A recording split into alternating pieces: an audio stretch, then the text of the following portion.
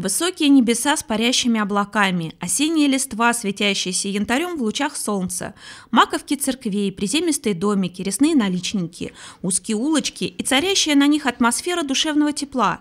Такими предстают российские города на фотоработах Евгении Комаровой, секретаря Союза фотохудожников России, руководителя народного коллектива «Молодежная фотостудия», члена Пущинского фотоклуба и куратора фестиваля русской художественной фотографии.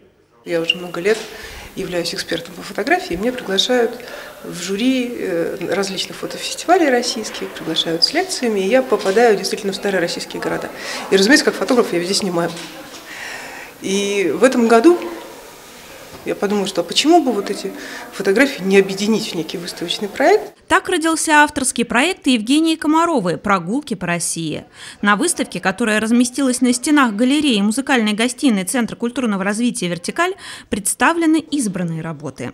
Евгения Комарова использовала непривычный для нашего города формат экспозиции – фотографии разных размеров, что помогает зрителю погрузиться в атмосферу того или иного города. Благодаря фотопроекту пущенцы могут прогуляться по улицам Астрахани, Боровска, Рыбинска, Калуги и многих других.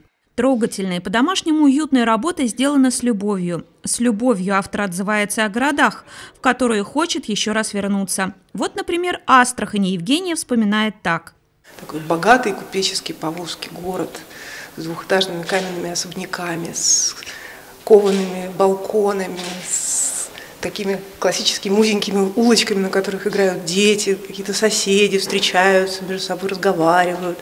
И вот попадаешь в какие-то такие маленькие мирки, которые мы читаем только в книжках на самом деле. В этом году Евгения Комарова продолжит работу над проектом. Особое внимание она планирует уделить историческим центрам Московской области.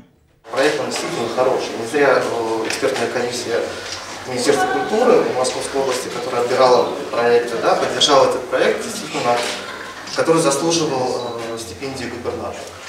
А, действительно, очень много и очень здорово, когда э, твои ученики могут увидеть еще и твои работы выставках И очень э, отрадно, что в Пущино есть такие замечательные, талантливые люди, как ты.